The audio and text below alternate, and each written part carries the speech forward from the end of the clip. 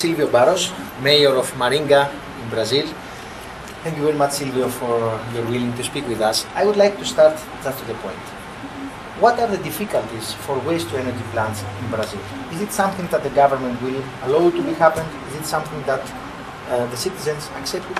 What's happening now? I would say that the problem here is uh, the lack of information, uh, ignorance about what is waste-to-energy. Uh, I'm sure the government will not prohibit uh, waste-to-energy uh, initiatives in the country because it makes no sense at all. But there is a lot of resistance, especially uh, by people that don't understand that it is possible to develop waste-to-energy and recycling. Actually, most of the countries that uh, have waste-to-energy plants are the ones that more that have more uh, recycling quantities in Europe.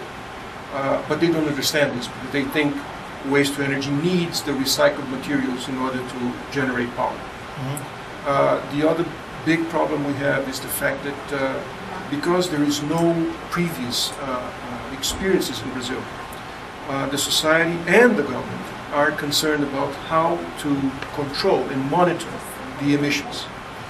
we don't have the technology in place. We don't have organizations in Brazil that can actually do this uh, in a way that uh, people would be would, would feel safe. Okay. And uh, uh, we would would have to convince them that these technologies are available and we can implement them.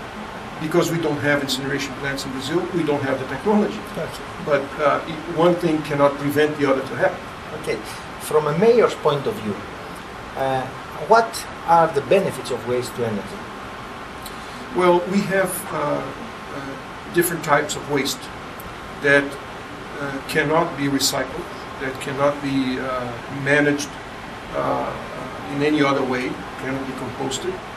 So we have to put them somewhere else. Mm-hmm. And uh, basically, the option we have is landfill. My understanding uh, as a sanitary engineering, which is my, uh, I'm graduated in, in civil engineering, is the fact that the best thing to do is instead of, of just sending to the landfill those materials. We should at least recover the energy that is within them and use them in a, in a proper way.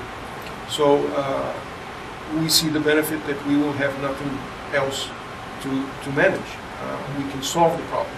And basically, we can uh, save some money uh, by uh, having a more rationalized and optimized way uh, for our trucks to bring the, the, the, waste to a certain place not too far away uh, instead of having to send them 20, 30 kilometers away uh, to landfill.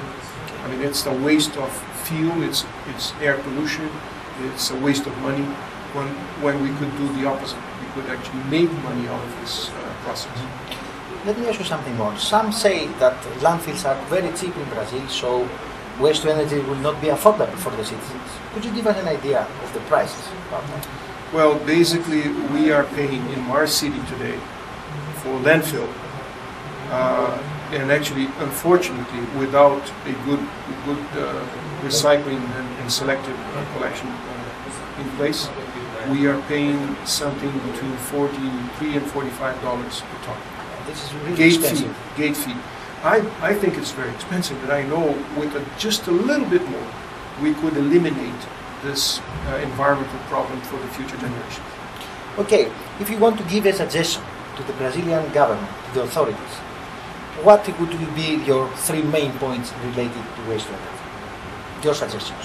Uh, it would be to learn more about it, to understand it better, and to make sure that it becomes under the Brazilian regulation waste to energy becomes part of the whole process of managing waste. Not the option, but part of the option to manage and to eliminate that, uh, uh, that portion of the waste that have nothing to be done except landfill. Okay, thank you very much.